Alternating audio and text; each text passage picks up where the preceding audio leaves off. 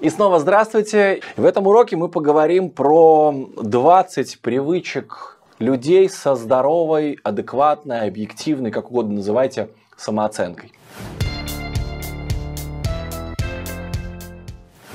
20 привычек. И я предлагаю вам эти привычки у себя развивать. Вот вы знаете, почему мне нравится исследовать людей? Потому что наблюдая за людьми, например, э, недавно наткнулся на интересную статью, э, точнее, да, это статья, и там была выдержка из книги. Так вот, один э, американский бизнес-тренер исследовал 170 долларовых там миллионеров, очень успешных, там список Forbes и прочие-прочие истории, и он исследовал их привычки. Да, что-то есть, что отличает одних от других, но он выделил общие вещи. И вот то же самое по поводу счастья и самооценки.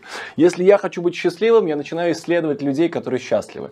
Если я хочу поднять свою самооценку, я исследую людей, э, у которых есть привычки касаемо здоровой самооценки. Если я хочу быть здоровым, я исследую людей, которые э, здоровы. И так далее, и так далее. Поехали. Первая привычка – мыслить позитивно. Это не врожденный дар, это не, знаете, божье помазание, это привычка. Оптимизм и позитивный настрой – это привычка. Вырабатывайте в себе эту привычку. Вы знаете, э, опять же, это выгодно. Выгодно быть радостным, выгодно, выгодно быть э, довольным, выгодно быть оптимистом, потому что э, при прочих равных люди с позитивным настроем зарабатывают больше при одном и том же продукте в одной и той же компании на одном и том же рынке но глупо не быть позитивным. Да, выбирайте позитивный настрой. Второе. Умеют веселиться, отдыхать и расслабляться. При этом это вообще не про алкоголь, это именно про веселье, отдых и расслабление. Это как дети. Вот посмотрите на детей. Детей не надо учить отдыхать, детей не надо учить веселиться. Они постоянно в драйве, они постоянно в энергии, они постоянно в радости. Учитесь у детей, будьте как дети, наблюдайте за детьми. Дети, пока вы э, не вторглись в их э, самооценку, они обладают абсолютно обалденной самооценкой. Да, она завышена. Да, они считают себя центром вселенной. Да, они считают, что все для них и жизнь вокруг них. Ну пусть лучше так, чем жизнь боль, жизнь страдания, э, плох мужичок, но свой, женская доля, Бог терпел и нам велел. Уж лучше пусть пуп вселенной, уж лучше пусть считает, что все вокруг него. Это все равно лучше, чем низкая самооценка. Поэтому второе, умейте веселиться, умейте отдыхать и умейте расслабляться. Я, например, люблю массаж. Я люблю потанцевать. Я люблю похохотать. Я люблю почудить и поразвлекаться. Это круто. Учитесь. Третье. Знает свои потребности и уважает их. Вы знаете, у каждого из нас есть потребности. И очень важно учиться изучать свои потребности, понимать свои потребности и уважать свои потребности. Если вы не любите себя, то кто будет вас любить? Вот вы знаете, я люблю себя, и, и мне с собой хорошо, и я ценю себя, и я наслаждаюсь, когда я с детьми, я наслаждаюсь, когда я с друзьями, и наслаждаюсь, когда я на съемках, я наслаждаюсь, когда я веду тренинг, или когда я сижу один в номере и просто туплю там с ноутбуком или с телевизором, или просто туплю. Я знаю свои потребности. Четвертое. Не отвечайте за чужие эмоции. Привычка человека со здоровой самооценкой не отвечать за чужие эмоции. Человек пытается вами манипулировать. Человек пытается вас э, вовлечь в какую-то свою игру. Он пытается вам привить чувство вины. Нет. Нет. Я не отвечаю за чужие эмоции. Я не могу никого обидеть, но человек может обидеться. Я не могу никого огорчить, но человек может огорчиться.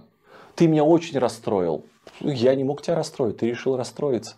А еще ты пытаешься мной манипулировать. Не пройдет. Поэтому человек со здоровой, с адекватной самооценкой не отвечает за чужие эмоции. Пятое. Принимает свои ошибки. Не надо путать, не боится ошибок. Это нормально бояться ошибиться но при этом принимает свои ошибки. Я столько глупостей в своей жизни сделал, да, и когда-то я сожалел об этом, я не принимал свои ошибки, но это нормально. Это нормально. Ты можешь опоздать на поезд, ты можешь э, сказать глупость, ты можешь все что угодно. Одна моя знакомая выступала на очень крутой конференции, она подготовила, выбрала лучший свой гардероб, лучшие аксессуары, у нее был компьютер, там, у, него, у нее был телефон, стикеры, у нее были дорогие аксессуары, все, она все подготовила, она отрепетировала. очень важное мероприятие, важная конференция, форум. И вот она вышла, начала выступать, и прошло там несколько минут, и в какой-то момент у нее зачесалось в носу, и она просто не удержалась, и она чихнула. Огромные экраны в зале, экраны размером с автобус, и она чихнула, и у нее из носа вылетела сопля. И в этот момент она видит, как на всех экранах ее вот так вот крупным планом показывают, и это сопля э, размером с дом. Она взяла салфетку, вытерла, сказала, ну теперь вы видели все, продолжим.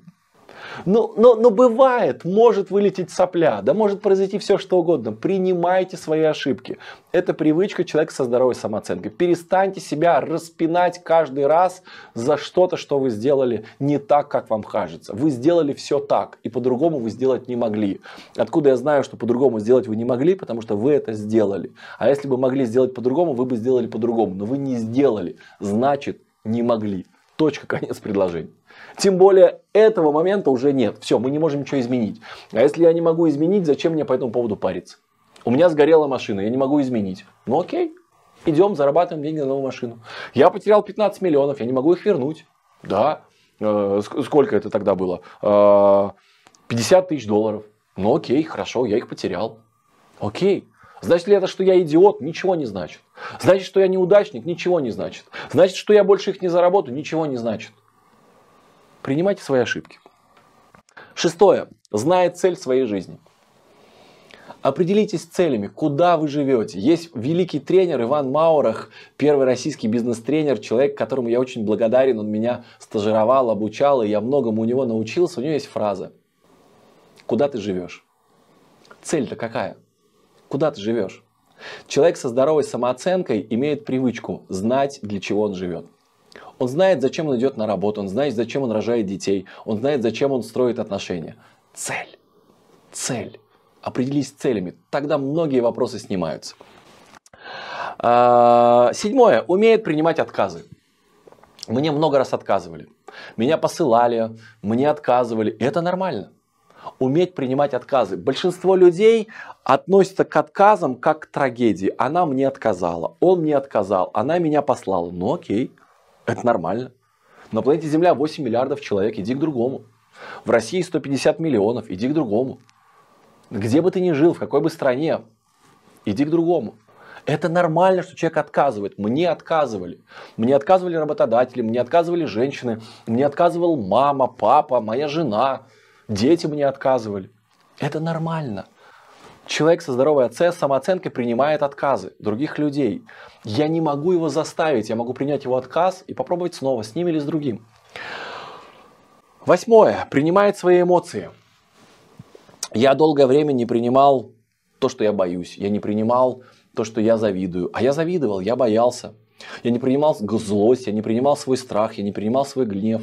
Это нормально. Мы боимся, мы завидуем. Принимайте свои эмоции. Нет плохих эмоций, нет неправильных эмоций. Любая эмоция нормальная. Она есть, ты живой человек. А, девятое. Уважает свои слабые стороны. Я что-то не умею, это нормально. Например, я не умею многие вещи делать руками. Я не умею. Есть женщины, которые не умеют готовить, это нормально. Есть женщины, которые не умеют общаться с детьми, это нормально. Есть женщины, которые не умеют водить автомобиль, это нормально ты что-то не умеешь. А дальше ты либо принимаешь это, это нормально, я принимаю и даже не парюсь по каким-то моментам. Но если для тебя это действительно ценно, ну, ну, ну это навык, ну, развей его в себе. В чем проблема? Десятая важная вещь. Умеет себя занимать. В одиночестве ему тоже хорошо. Останьтесь одни. Помолчите. Займите себя чем-то. Мне хорошо везде, где есть я. В Сапсане, в самолете, в бизнес-зале, дома, на прогулке, на пробежке. С людьми или без людей. Здоровая самооценка – это умение занимать себя. Когда ребенок говорит «мне скучно», не надо бросаться и, и начинать его развлекать. Пусть займет себя. Пусть развивает здоровую самооценку. Одиннадцатое. Умеет быстро адаптироваться. Учитесь адаптироваться. Кризис – это когда ситуация изменилась, а ты нет. Учитесь адаптироваться. Двенадцатое. Постоянно учится и любит учиться. Это признак людей со здоровой самооценкой. Если хотите здоровую самооценку, развивайтесь постоянно. Сам факт постоянного развития и роста помогает тебе развивать само, свою самооценку. Тринадцатое. Понимает свои пределы и свои возможности. И это нормально. У меня есть какие-то мои пределы и возможности. У меня есть мои физические данные, у меня есть мои умственные данные, эмоциональные. И есть предел всему. Пару дней назад я закончился, я, я не смог записать файлы, потому что я устал. Это нормально. Я не корил себя, не обвинял, не считал, что я плохой тренер. Я просто понял, я устал, мне надо отдохнуть. Точка. Это был мой предел. Предел моей работоспособности. 14. Они гибкие в общении и могут сдвигаться своих точек зрения. Помните, мы говорили про упрямство, про упертость, про доказывание своей правоты. Человек со здоровой самооценкой легко откажется от своего мнения. Окей. Кстати, то, что я сейчас сказал, это глупость, не верьте этому. 15. Умеет активно слушать. Это тоже признак здоровой самооценки. Уметь активно слушать. Наслаждаться тем, что говорит другой человек. Интересоваться другим человеком. Активно слушайте. 16. Имеют внутренний кодекс и свои внутренние принципы. Например, я не работаю с табачными компаниями. Это мой внутренний кодекс и мои внутренние принципы. Мне предлагали двойные тарифы, в два раза больше денег, чем обычно стоит этот парень. У меня есть мои кодексы, мои принципы. Все. 17. Очень важная привычка. Планирует свой день и умеет решать свои задачи. Я вообще пишу план на завтра, сегодня вечером. Каждый день пишу план, я планирую свою жизнь. Мне не надо, чтобы мне кто-то сказал, что мне делать. Знаете, а, очень часто родители настолько законтролируют своих детей, что дети э, без родителей шаг не делают. Да? Низкая самооценка. Планируйте свою жизнь. 18. Знает свои границы и говорит о них. Я знаю, что для меня приемлемо, что нет. Например, если люди вокруг матерятся, мне это не нравится, я могу попросить да, ограничить количество матерных слов э, в общении со мной. Мне не нравится, когда люди курят. Нет, когда они курят вдали от меня, это их проблема, их жизнь меня это вообще не касается. Э, знаете, каждый умирает так, он, знаете, э, кто-то бухает, а кто-то колется, э, да, но можно ускориться, да, как пел один питерский певец. Девятнадцатое. Понимает и принимает свою уникальность. Я метр девяносто. У меня 44 размер ноги. Я что-то умею, что-то не умею. Я действительно уникальный, и таких, как я, больше нет. Таких больше не производят. Когда мне один студент написал, Михаил, а как мне стать таким тренером, как вы? Я говорю, никак. Потому что такой тренер, как я, один. Ты можешь стать другим тренером, ты можешь стать круче меня, но ты будешь собой. Ты не будешь Михаилом Москотиным, так как я не буду Стивом Джобсоном, Михаилом Горбачевым. Я не буду другим. Я, я, я, я уникальный, как и 8 миллиардов человек. Отпечаток пальца уникальный, сетчатка глаза уникальная. Ну и э, 20 очень важная привычка. Изучает других людей. Человек со здоровой самооценкой интересуется другими людьми. Он наблюдает за ними, он смотрит на них, он слушает их, он проявляет эмпатию, он изучает других людей. Начни изучать своих других людей. Я как-то обнаружил, что у меня есть тело, и я начал его разглядывать. Я был очень удивлен, потому что я э, не знал, что вот этот палец, он такой. Нет, я как бы 40 лет с этим телом живу, оно у меня есть, но я стал э, изучать его. Ты также начни изучать других людей, как они мыслят, думают, чувствуют. Изучая других, ты э, повысишь свою самооценку.